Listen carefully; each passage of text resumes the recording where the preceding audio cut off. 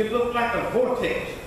And worlds like this, and the planets and stars and galaxies go inside of this big black hole. Like a vacuum cleaner. and they say, they tell us, the little big people, they say, and it goes in and it's destroyed, right? But you know, they, if you read a little further, they say, you know how you have a place where you have food that goes in for your body? You have a place where food and water go out, don't you? So something goes in and something goes out. So the scientists now, they caught up with the Muslims. They're embarrassed now. They have found out the Quran had revealed this before they discovered it. This is why this book is so important for the whole world. So now they're saying that black hole that looks like a vacuum cleaner that things go in one end, and on the other end they come out as brand new planets. Brand new planets. So in the, in the galaxies, in the universe, you have death, and you have what? Resurrection. Yes, you have to think about it. I'm not necessarily beating any of you up. I'm getting on these scientists who won't give a lot of credit for what they are doing. They're taking credit for it, you see? and Muhammad Sallallahu he said, first, he said, the other thing that will guarantee to help you to paradise is speaking truth in pleasure and also in anger. You know, some you sometimes you know you get angry with people, you won't tell the truth. You mad. And the prophet said, this is one of the vices of your destruction. But if you practice it, it'll guarantee you salvation. That's a man. A man, uh, Muhammad the Prophet he said, the one who is strong is the one who controls his anger. Not the one who curses and people around and throw chairs and pick up the refrigerator. No. He said, the stronger man is the one who controls his anger. Lord. Why? Because the man is a mind that sits inside of an animal body. This thing is an animal. And the animal just like any other animal, needs the man to control it. You know, the big, the big the big tiger, the big, the big lion, the big gorilla, the big elephant, these things are controlled by who? A man who has a mind. So Allah has given this as a sign that this thing needs a controller. And the controller for this thing is the human mind under control. Just like you have an automobile. You drive the automobile. The automobile does not drive you.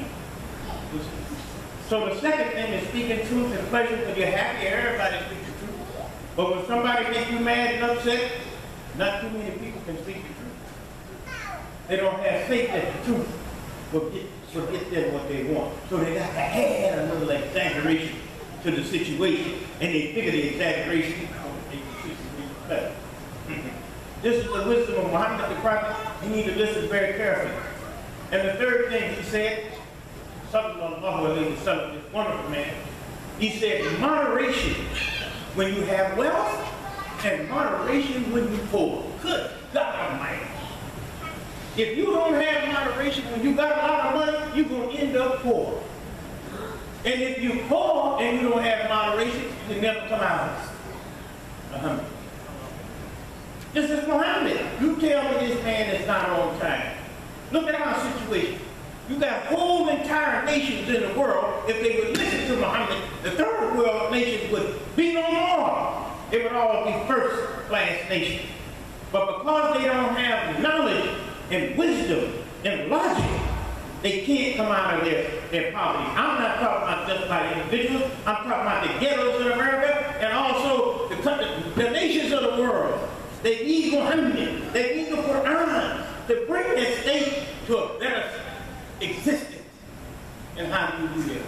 Moderation with what? With your money and moderation with your poverty. I've seen poor people. They got no color TVs than a rich person. I've seen it. They live in an apartment, but then they got a Lamborghini. What you doing with a Lamborghini and you live in an apartment? What's the problem? There's no moderation in their wealth. Allahu Akbar. So how are they ever going to come out? Oh, I'm not trading Islam for nothing else. Not me. Allah for nothing else. Muhammad for nothing. Too much wisdom here. to bring me out of the situation that I'm in. And then the prophet he said, the things that will hurt us, three, number one, passion, which is false. You know, heated desire that burns up the intellect. Oh, thank Lord for this. Then he said the second thing is greediness. And you obey the dictates of greed. That's the second vice that hold us down. The whole humanity. I am not giving a cook for me. I'm telling you what Muhammad said. Sallallahu And you need to share this with, with your family and friends who are not present. And the third thing he said that hurts, that hurts us as a vice for human beings is self-conceit, arrogance, thinking you what you really are not. Isn't that wonderful? That's great advice. Hear me, I'm, I'm not Southfield. I'm not the President of the United States. Why should I be acting like that? Why should I think I'm better than you? Okay? Based on what? in the economic, in the law all. the most that's the highest person is the one who thinks on law. You need to, I'm going to help you to understand what, but I just think you from from. Says the best of you, the most pious of you and me, is the one who thinks on law. Is conscious of Allah. I'm conscious of you right now. Because I'm conscious of you, I won't smoke a cigarette. Because you look at that. But I'm conscious of you, I won't open up a wine bottle in your face. Because I'm conscious of you. It's the power of consciousness that causes me to have the ability to restrain myself. In your presence. Oh, wait. Yeah. See, we have to understand these things. So if I'm thinking on the law, listen, listen now. I'm thinking on the law, oh, Lord, oh, Lord. I'm, I'm making some money, oh, Lord. I'm driving my car, oh, Lord. I'm doing my surgery, oh, Lord. I'm working on the job, oh, Lord. That's good. But if I do that only five minutes a day, I'm not better than this brother who thinks on the law four hours a day. I'm not better than that brother who thinks on the law 12 hours a day. I'm trying to show you how the Quran says who is the most pious.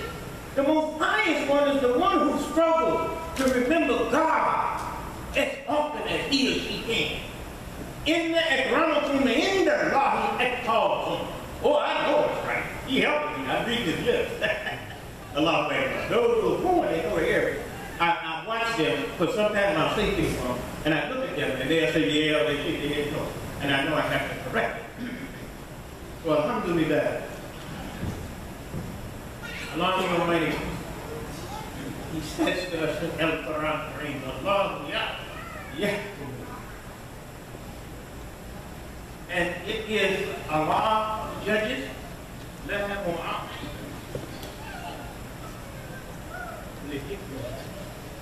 It is Allah who judges, and there is no adjuster that comes after Allah's decision. You know, when I do something wrong, I have a board here. And the board will say, oh, no, no, that's wrong. So what the board is going to adjust what I did. That's the function of the board, for sure. That's to help me. When I'm reading the Quran, Allah, yeah, that's I'll kill. And Allah is He who makes the, the decision, the judgments, and there is no adjustment for him.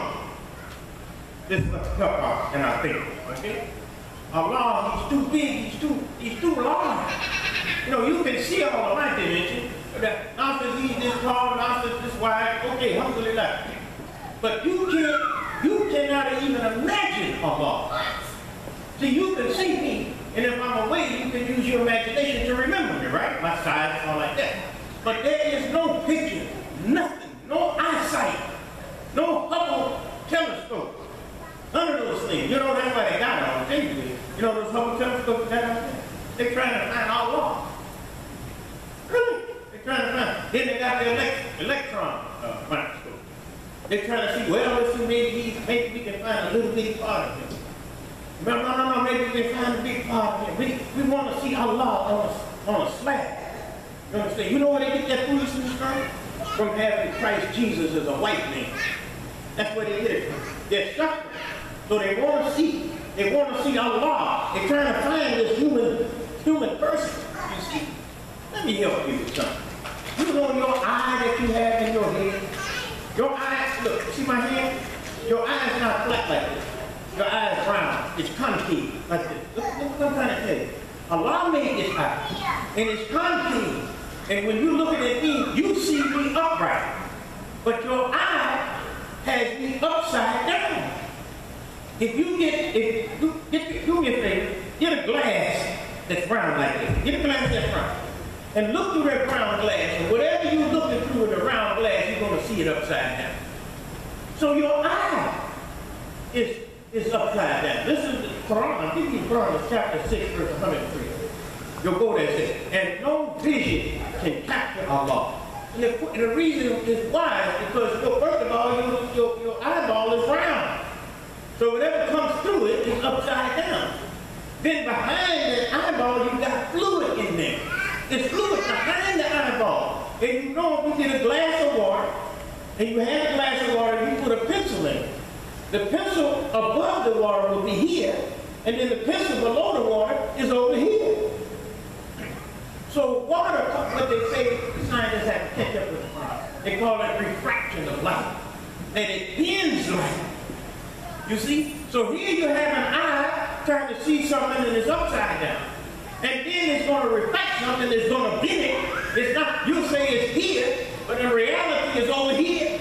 So it's, it's, Allah is trying to tell you just through your whole human body, there's no way you can see him. Not with your eye, microscope, this is, a, this is the God that you worship. Any God that you see a picture of, any God that you see a statue of, is inferior to you. Oh, oh I know I'm missing a lot. This is on the internet too. If you see a picture, oh, this is God. A statue, oh, this is God. It's inferior to you. Why is it inferior to you? Because it didn't make itself. It was a human being that made that picture. It was a human being that made that statue. It could have no existence without the human being. So why should I worship something that I made? It's inferior to me. Allahu Akbar. Oh, this is the religion of liberation. It liberates you so that you don't put a man over you. You're not second class to any man. There's no picture of God for that reason in El Islam. The picture doesn't do justice. And Allah says, El Ya'na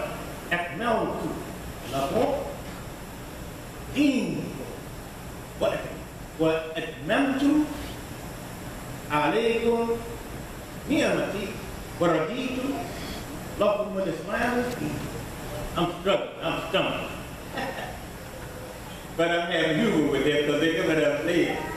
You know, it's like a baby trying to talk. You know, if you laugh at the baby because you get a tired of the baby because it's trying to talk. I'm, I, wasn't, I wasn't raised, I wasn't, I'm not, I wasn't born Muslim. I speak English like most of you. So what does this translator say?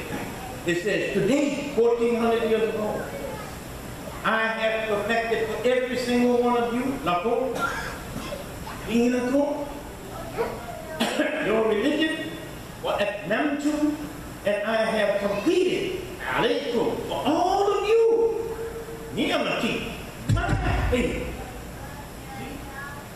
Raditu, and I have chosen lakum Islam, and I have chosen the Islamic religion, or I have chosen an Islam as religion. This is chapter 5 of the Quran, verse 3. I challenge any human being to show me in their scripture where their religion is in the scripture by name. Did you hear what I said to you? Are you listening to me? If you bring me a scripture from this religious group and a scripture from that religion, I say, show me in your scripture the name of your religion in your scripture. You cannot do it. The Quran is the only scripture that is the name of the religion. Oh, I'm saying this for so many people, they don't know these things. Now, let's see, let's look at the attitude of Islam about man, humanity. سيقولون يا المسلم أنت وزوجنا سوا وزوجه كانت الجنة وكلها منها رغدا حيث شئتما ولا تقربا هذه الشجرة. Okay, I'm saying this for people to be comfortable who speak Arabic, so they'll be comfortable. Okay?